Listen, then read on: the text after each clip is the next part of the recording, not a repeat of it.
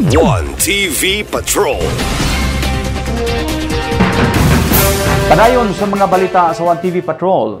Suspect nga giingong mastermind sa pagpusil patay ni Gretchen Rubio at large. Kamulo nang uh, nagpakasayod ang Usami City PNP o sa pakigdugtong usab sa mga silingang uh, PNP station sa probinsya uh, aron sa tuyo o aron matumbok ang uh, gilubluban sa mastermind o person of interest sa shooting incident sa Barangay Banyadero ni atong Hunyo 30. Nagkanayon si Uzami City PNP Officer in Charge, Police Major Dennis Piñastano, nga ang maong suspect aduna nay duha warrant of arrest human nahimong guilty sa Vauci case nga gipasaka sa kampo ni Anhing Gretchen Rubio. Pending ang unang warrant of arrest sa suspect sa kaso sa Vauci human kini pakya sa papakita sa korte alang sa proceedings sa kaso og uh, ang ikaduhang arrest warrant ma, uh, mao kining uh, kaso sa pagpatay.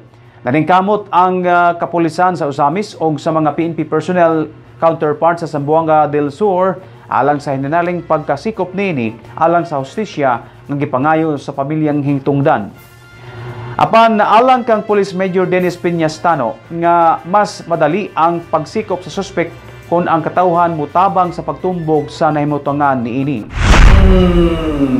katong gitibods, maybe nagkuhan pa to siya, lutaw-lutaw pa karon. Ha?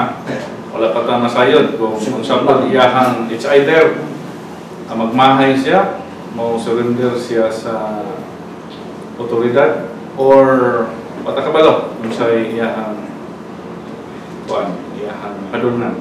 Um, na-threat ang katong babae prior. Asa ang tretikan?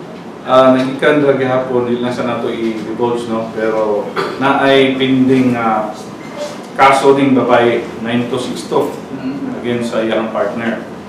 And na uh, isyuhan of warrant of arrest then na surrender sa usa ka municipality and then nakapiyansa. And then later on wala siya naka appear sa iyang trial na-issuehan na po siya og another bench warrant. Mm. So, ang kaning ato ang mabutang na to persons of interest actually na ay warrant of arrest. Mm. So, anytime, anywhere here in the Philippines, pwede na to sila arrestuhan. TV Patrol. One TV Patrol. One TV Patrol. One TV Patrol.